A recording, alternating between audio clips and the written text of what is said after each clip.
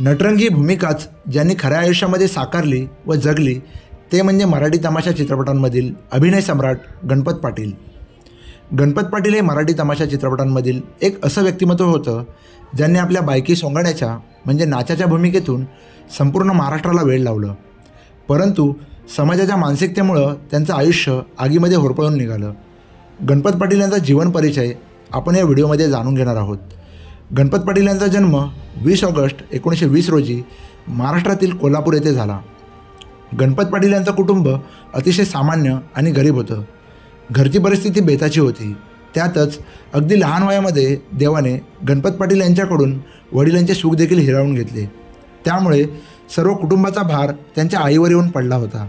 शिवाय घरामध्ये खाणारी तोंड देखील जास्त होती. गणपत पाटील यांना सहा भावंडे होती. घराची आर्थिक परिस्थिती सावरण्यासाठी व आईला तितकाच हातभार लागावा म्हणून गणपत पाटील यांनी लहान वयामध्ये मिळेल ती कामे करायला सुरुवात केली. कधी भाजी विकणे तर कधी मोलमजुरीचे काम देखील केले. लहान वयामध्ये चिमुकल्या गणपतला पोटाची भूक भागवण्यासाठी कष्ट सोसावे लागले.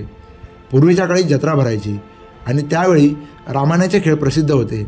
या खेळांमध्ये गणपत पाटील हे अगदी हौसेने भाग घ्यायचे. रामायणाच्या खेळामध्ये बऱ्याच वेळा बजावलेली सीतेची भूमिका प्रेक्षकांच्या पसंतीस पडली. पुढील काळात त्यांचा परिचय राजा गोसावी यांच्याशी झाला आणि त्यांच्याच ओळखीतून पुढे गणपत पाटील यांना मास्टर विनायकांच्या शालिनी सिनेटमध्ये प्रफुल्ल पिक्चरमार्फत चित्रपटसृष्टीमध्ये काम करण्याची संधी चालून आली. सुरुवातीला सुतारकाम रंगभूषा सहाय्यकाची कामे मिळाली. परंतु मास्टर विनायक यांचे निधन झाले आणि गणपत पाटील बलिदान व वंदे मातरम या चित्रपटांमध्ये त्यांना भालजी पेंढारकरांच्या मीठ भाकर या चित्रपटामध्ये खलनायिकाची भूमिका मिळाली. या भूमिकेने गणपत पाटील यांच्या अभिनय कारकिर्दीमध्ये मोलाची भर घातली. सन एकोणीसशे पन्नास सालचा स्वातंत्र्यानंतरचा तो काळ होता. या काळामध्ये तमाशा हा ग्रामीण महाराष्ट्राची सांस्कृतिक ओळख असणारा कलाप्रकार लोकप्रिय होता आणि या कलाप्रकाराचा प्रभाव कुठे ना कुठे मराठी चित्रपटसृष्टीमध्ये तमाशापटांनी व लावणीपटांनी मैदान जिंकून घेतलं होतं. आता तमाशा म्हटलं तर तमाशेने आल्या. त्यांच्यासोबतच प्रेक्षकांना मनोरंजनाची फोडणी देणारा नाचा देखील आला. मग मराठी चित्रपटसृष्टीमध्ये नाचाची भूमिका गाजली आणि ही भूमिका गाजवणारे महान कलाकार होते गणपत पाटील. गणपत पाटील हे नाटकांमध्ये देखील अभिनय करायचे. ऐका हो ऐका या तमाशाप्रधान नाटकामध्ये गणपत पाटील यांनी बायकी सोंगाडीची म्हणजे नाचाची भूमिका बजावली. आणि या भूमिकेने महाराष्ट्रामध्ये एक वेगळीच लोकप्रियता मिळवली. पुढे जाळीमध्ये पिकली करवंद या नाटकातही त्यांनी हीच व्यक्तिरेखा साकारली. त्यांची सोंगाडीची भूमिका इतकी गाजली की वाघ्या मुरळी या कृष्णा पाटील यांच्या चित्रपटामध्ये गणपत पाटील यांनी साकारलेली नाचाची भूमिका लोकांच्या मनामध्ये झपाट्याने घर करू लागली आणि त्यांचा उत्कृष्ट अभिनय कौशल्यामुळे नाचाची भूमिका आणि गणपत पाटील हे समीकरण मराठी तमाशापटांमध्ये बरंच गाजलं. तसं बघायला गेलं तर नाचाची ही भूमिका जेमतेम फुटेज मिळून देणारी होती. प्रेक्षक मराठी तमाशापटांमध्ये गणपत पाटील यांना नाचाच्या भूमिकेमध्ये बघायला व्याकुळ व्हायचे. त्यांनी साकारलेली ही भूमिका प्रेक्षकांच्या मनात इतकी भरली की महाराष्ट्रातील कानाकोपऱ्यातून प्रतिसाद मिळायला सुरुवात झाली. गणपत पाटील यांनी साकारलेली नाचाची भूमिका लोकांच्या पसंतीस पडली कारण त्यामध्ये एक वेगळंच वैशिष्ट्य होतं. बायकी आवाजात ओरडत बोलणं उजव्या हाताची तर्जनी हनुटीवर ठेवणं आणि डावा हात कमरेवर ठेवत बोलताना अंगाला लचके देणं. असा अगदी ठसक्यात आणि खुमासदार पद्धतीने त्यांनी नाचाची व्यक्तिरेखा साकारली होती. एकोणीसशे एकोणपन्नासमधील मिडभागर या चित्रपटाने त्यांना नवीन ओळख दिली. पुढे राम राम पाहुणं पाटलाचा पोर या दोन चित्रपटांमुळे मराठी तमाशापटांमध्ये गणपत पाटील यांचं वर्तुळ मोठं होत गेलं. एकोणीसशे एकावन्नमध्ये आलेल्या छत्रपती शिवाजी यामध्ये त्यांनी अनेक छोट्या भूमिका केल्या. एकोणीसशे साठ साली आलेल्या शिकलेली बायको व त्रेसष्टमधील थोरातांची कमळाने त्यांना लोकप्रियता मिळवून दिली. पुढे एकोणीसशे चौसष्ट साली प्रदर्शित झालेल्या वाघ्यामुरळी या चित्रपटातील त्यांनी साकारलेल्या सोंगाड्याच्या भूमिकेमुळे त्यांना महाराष्ट्र शासनाचा उत्कृष्ट चरित्र अभिनेत्याचा पुरस्कार प्रदान करण्यात आला. बोला दाजीबा मल्हारी मार्तंड एक गाव बारा भानगडी सवाल माझा ऐका गणानं घोंगरू हरवलं केला इशारा जाता जाता सोंगाड्या पिंजरा देवा तुझी सोन्याची जेजुरी रायगडचा राजबंदी बाई मी भोळी सांगू मी कशी सुरंगा म्हणतात मला छंदप्रीतीचा अशी रंगली रात्र खंडोबाची आण अशीच एक रात्र लाखात अशी देखणी या सर्व चित्रपटांमध्ये साकारलेल्या भूमिकांमुळे गणपत पाटील लोकप्रियतेच्या झोतामध्ये आले.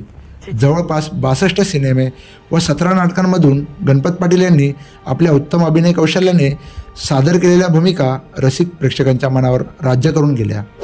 मराठी चित्रपटसृष्टीमध्ये नाचाची भूमिका करण्यामध्ये गणपत पाटील यांचा हात कोणीही धरू शकत नाही.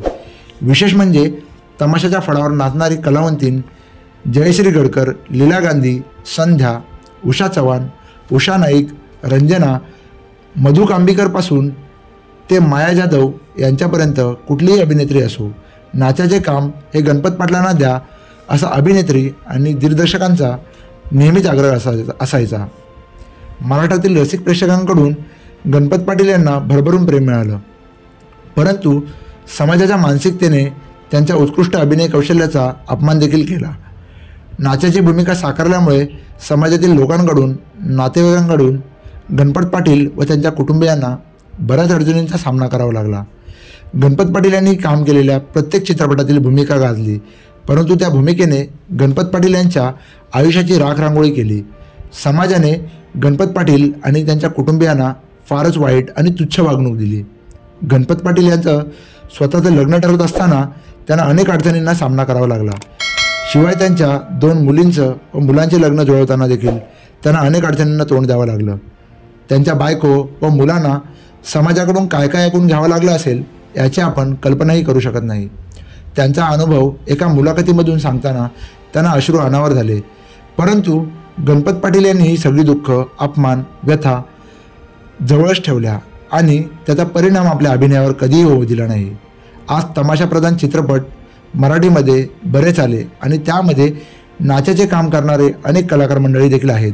परंतु गणपत पाटील यांनी रंगवलेली नाचाची भूमिका रसिक प्रेक्षकांच्या कायम स्मरणात राहिली आणि या बाबतीत कोणीही त्यांची बरोबरी करू शकत नाही. साधारणतः तमाशा किंवा लावणीमध्ये प्रेक्षकांचं मुख्य लक्ष हे तमाशाच्या फळावर नाचणाऱ्या कलावंतींवर असतं. परंतु गणपत पाटील यांनी आपल्या उत्तम अभिनयाच्या जोरावर साकारलेल्या नाचाने प्रत्येक प्रेक्षकाचे लक्ष वेधून घेतले. सन दोन हजार सहामध्ये अभिनय सम्राट गणपत पाटील यांना भारतीय चित्रपट महामंडळाचा चित्रभूषण पुरस्काराने सन्मानित करण्यात आले. झी मराठीतर्फे त्यांना लाईफ टाईम अचीवमेंट अवॉर्डने गौरवण्यात आले. सन दोन हजार तेरामध्ये विशेष दीनानाथ मंगेशकर पुरस्कार त्यांना मरणोत्तर जाहीर करण्यात आला. त्यांच्या आतागवयाला दाद दिली नसेल असा मराठी रसिक विरळाच. अंगात मखमली आणि बदाम त्यावर हाफ जॅकेट गळ्यात गुंडाळलेला रंगबिरंगी रुमाल आणि डोक्यावर टोपी. अशा विषयातले गणपत पाटील त्यांच्या नाचाच्या भूमिकेत समरसून जायचे. या भूमिकेने त्यांना मानही दिला आणि प्रचंड अपमान देखील. आपल्या भूमिकेचे त्यांनी सोने केले पण त्याच भूमिकेने त्यांच्या आयुष्याची माती केली. पुढे जाऊन गणपत पाटील ही तृतीयपंथीयांसाठी संज्ञा झाली. अगदी नटरंग सिनेमा येईपर्यंत हीच अवस्था होती. नटरंग सिनेमा जानेवारी दोन हजार दहामध्ये प्रदर्शित झाला आणि त्याआधीच म्हणजे तेवीस मार्च दोन हजार आठ रोजी हा खरा प्रतिभावंत अभिनेता आपल्या आनंदाच्या प्रवासाला गेला. नटरंग आला आणि मराठी सिनेमाचे व गणपत पाटलांचे पांग फडून गेला. त्यांच्या भूमिकेचे त्यांनी सोने केले. पण त्या भूमिकेनेच नेहमीच त्यांच्या आयुष्यावर मात केली. अशा सर्व गुणसंपन्न गुणी पण अभागी अभिनेत्यास मनापासून सलाम.